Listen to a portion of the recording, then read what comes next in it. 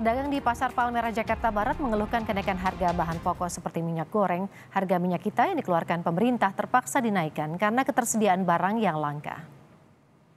Pedagang mengaku minyak kita dijual di atas harga eceran tertinggi yakni Rp16.000 per liter karena agen sudah menjual di atas harga eceran tertinggi. Pedagang juga menyayangkan sikap agen dan juga distributor minyak yang dinilai mempersulit pasokan minyak goreng. Mereka juga mengeluhkan sistem bundling yang diterapkan agen dan distributor minyak, seperti membeli barang lain saat membeli minyak goreng. Untuk bundling, kita nggak ada pembatasan. Se, istilahnya se, mau kita mau beli berapa banyak, asalkan ada bundlingnya, ya kan? Dan harganya juga, kalau menurut saya pribadi itu udah memberatkan banget, udah memberatkan banget. Kita beli harga minyak kitanya aja udah di atas harga head. Ya kan bisa 15.000 untuk satu piece. Nah di samping itu kita harus beli juga minyak bandringnya itu.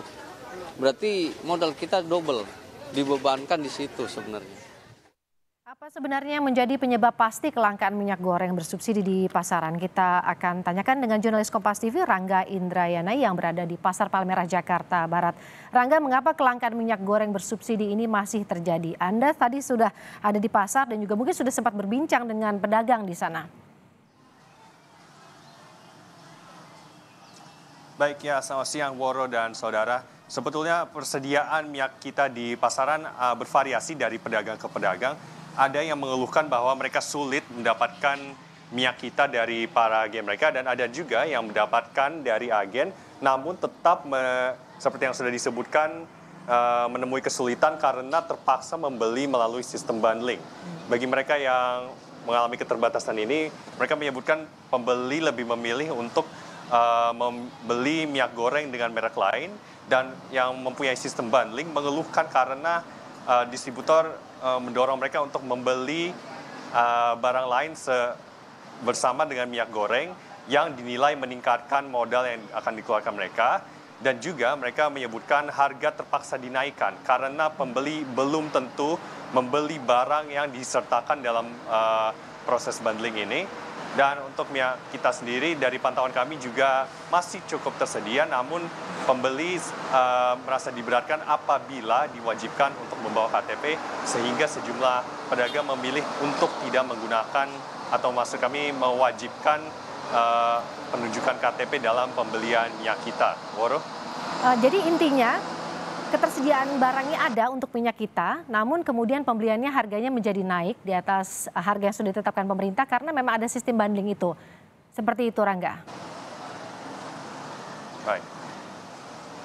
Ya betul Waro dan Saudara, eh, sistem bundling ini memang seperti yang disebutkan oleh pedagang memberatkan dan juga uh, pembeli merasa ragu apabila mereka terpaksa harus membelikan, maksud kami membeli barang bersama dengan minyak kita yang tersedia itu. Sebelumnya dalam perbincangan kami dengan seorang pedagang, mereka juga ragu dalam menerapkan wajib KTP kepada para pembeli karena mereka mengkhawatirkan pembeli justru akan beralih ke tempat lain untuk membeli minyak goreng.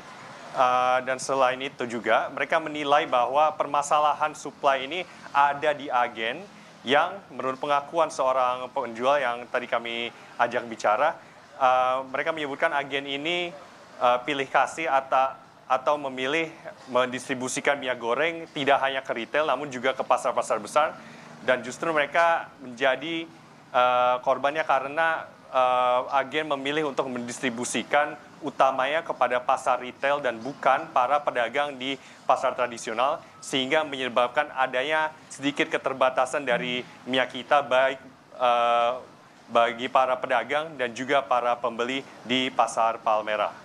Ada aturan yang kemudian diberikan oleh Mendak soal KTP tadi, tapi ada sebagian juga uh, pedagang yang menolak untuk uh, mewajibkan KTP ini saat pembelian minyak kita. Apa yang menjadi pertimbangan? Apakah juga Anda juga sempat uh, melakukan wawancara dengan pembeli di sana untuk uh, kewajiban yang harus mereka lakukan menunjukkan KTP ketika membeli minyak kita? Baik ya Woro, dari perbincangan singkat kami dengan seorang pembeli, mereka memang uh, tidak pernah mengikuti program melalui KTP. Mas kami membeli minyak menggunakan KTP karena dinilai merepotkan warga dan sementara itu pedagang juga memilih untuk tidak meminta warga menunjukkan KTP karena uh, para pembeli yang datang ke sini cenderung merupakan masyarakat menengah ke bawah yang tidak selalu membawa KTP ke pasaran sehingga mereka uh, tidak ingin pembeli justru beralih dari uh, lokasi dagang mereka. Nah, berikut adalah hasil wawancara kami dengan salah seorang pedagang di Pasar Palmerah yang menyebutkan dirinya uh, tidak menerapkan uh, KTP, maksud kami wajib menunjukkan KTP kepada para pembelinya. Kalau untuk pembeli yang membeli minyak kita ke toko saya itu belum saya wajibkan menggunakan KTP. Alasannya apa, Mas?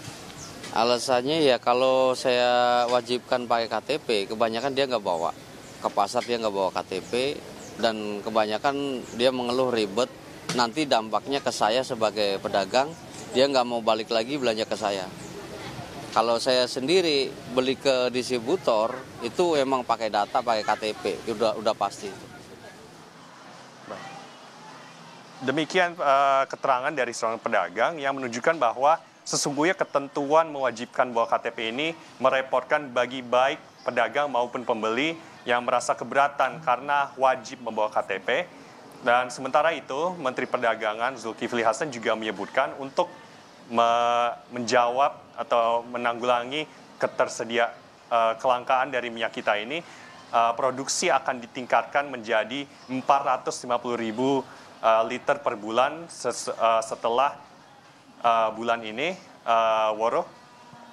Baik, terima kasih. Jurnalis Kompas TV Rangga Indrayana dari Pasar Palmerah Jakarta Barat terkait dengan masalah uh, keterbatasan minyak kita. Subsidinya tetap ada, tapi kemudian harganya lebih tinggi dari yang sudah ditetapkan oleh pemerintah yaitu Rp16.000 karena harus dibarengi dengan bundling barang-barang lainnya. Terima kasih Rangga.